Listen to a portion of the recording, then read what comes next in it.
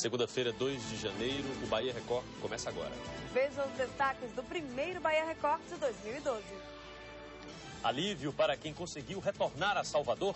Primeiro ano foi tudo de bom. Estresse para os turistas que tentam deixar a capital depois do Réveillon. Eu ia pegar no Beirute também estava lotado, não ia dar para pegar mesmo, porque já estava lotado. Na rodoviária ou no ferry, movimento é intenso no primeiro dia útil do ano. Tem também a festa da virada na Orla, com atrações musicais e o tradicional espetáculo da queima de fogos. Dono de depósito de bebida é preso acusado de tráfico de drogas em bairro Nobre. E ainda o futebol. Vitória faz o primeiro treino do ano e apresenta reforço para a lateral esquerda. A gente acredita que esse ano de 2012 possa conseguir o objetivo maior, que é conseguir o, acesso à primeira divisão. Agora, no Bahia Record.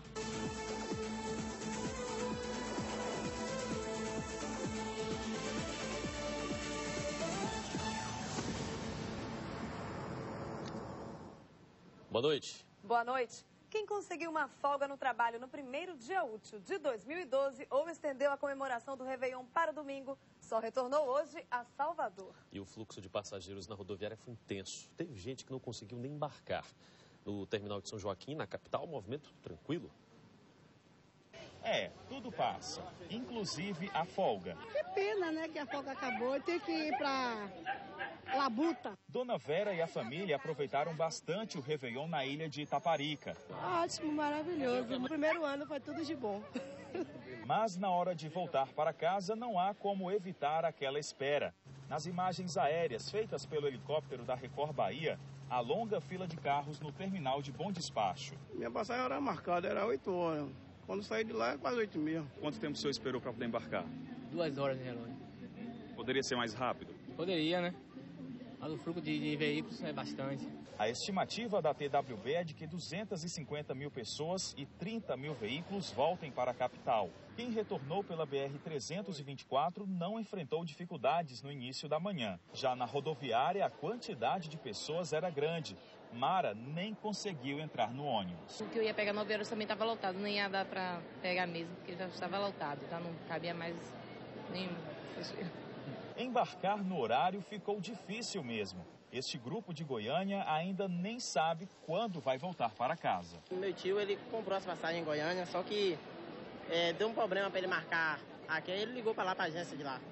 Aí a agência remarcou pro dia para 9 horas, pro dia 2 às 9 horas. Só que quando ele chegou aqui, que foi lá em cima, no, no onde compra as passagens aqui, no guichê, que aí chegou lá, tava botando no computador, não constou que que ele tinha marcado. As passagens estão na mão, mas está em branco. Segundo a Gerva, pelo menos 350 mil pessoas devem voltar de ônibus. Para baianos e turistas viajarem, foram colocados diariamente 2.450 horários. E desde a madrugada desta segunda-feira, a rodoviária está assim, lotada.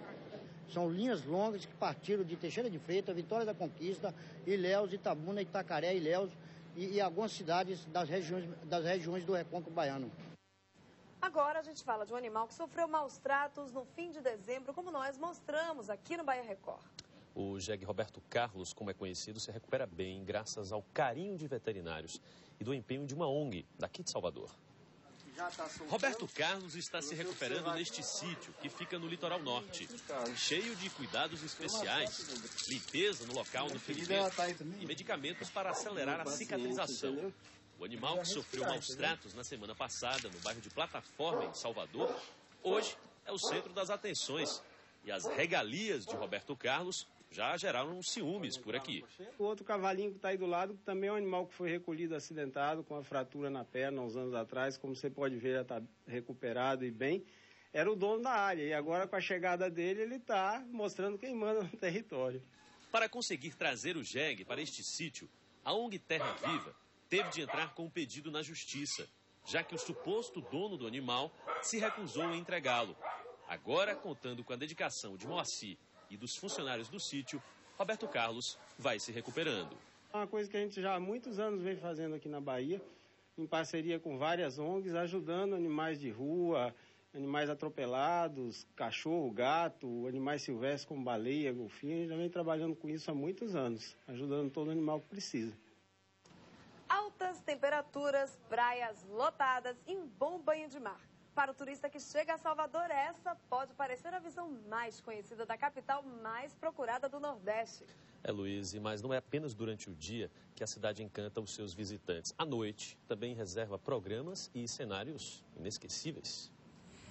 À noite, as cores não são as mesmas, mas para muitos visitantes, o Pelourinho é destino obrigatório quando a luz do dia vai embora. Este grupo de 14 turistas do Tocantins escolheu um bar com música ao vivo para desfrutar.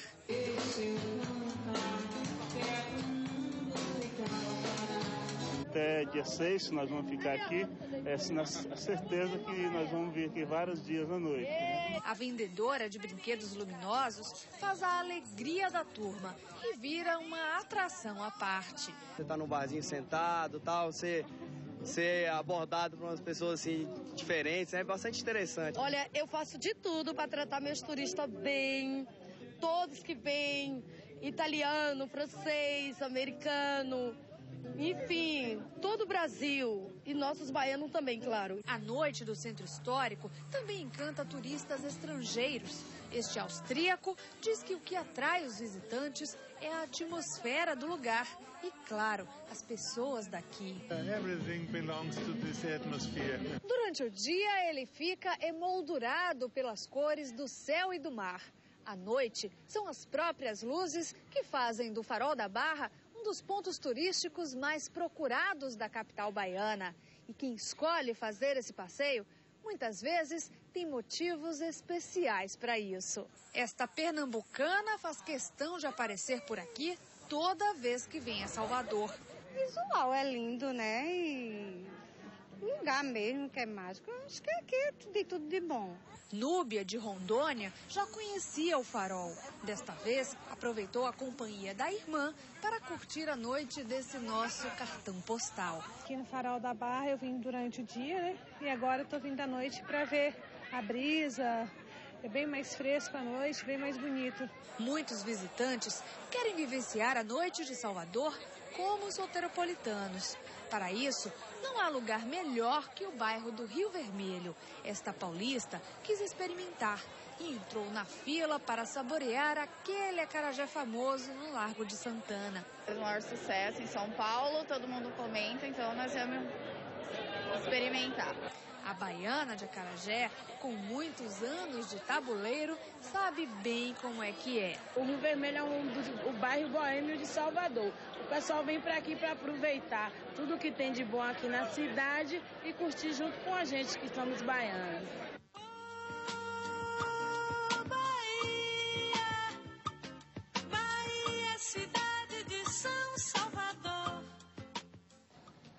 Como a gente viu aí na reportagem, nessa época do ano, Salvador recebe muitos turistas e tem gente que lucra bastante com esses visitantes, né, Luiz? É verdade, mas para conseguir vender é preciso saber se comunicar. Eu fui às ruas para saber como os baianos estão se virando para falar com os estrangeiros. Cerveja? Cerveja. Cerveja geladinha? Sim. Ah, São 12 reais. 12 reais. É. Ah, um ligado 7 reais. Ah, 7 reais. Não tô entendendo. Não entendo. Não. Esforço, hein? Às vezes, uma negociação aparentemente simples fica complicada tanto para quem vende quanto para quem compra. Quanto que custa a cerveja? Dois reais. Em inglês? Two. Two reais, sei lá, alguma coisa assim. Quem vem de fora acha até divertido desvendar os mistérios do baianês. É o que diz este turista alemão. Yeah, it's very much fun. We're fun. Bye bye.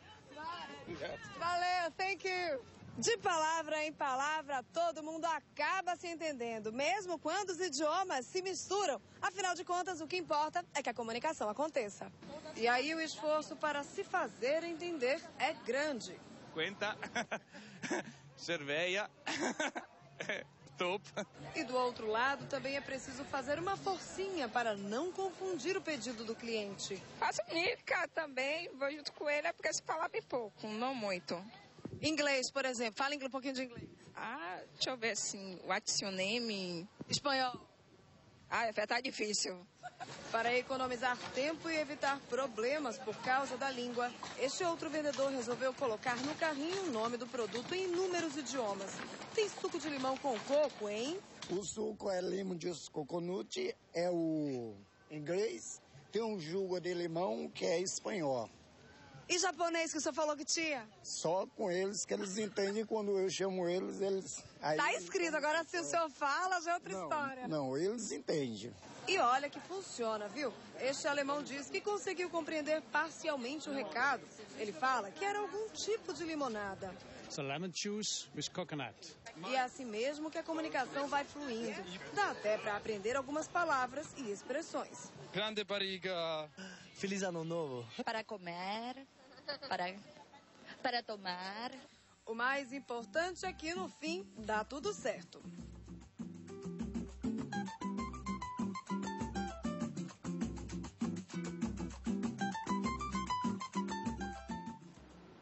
No próximo bloco, dono de depósito de bebida é preso acusado de tráfico de drogas no bairro da Barra. E ainda, time do Vitória se reapresenta e inicia preparação para o Campeonato Baiano.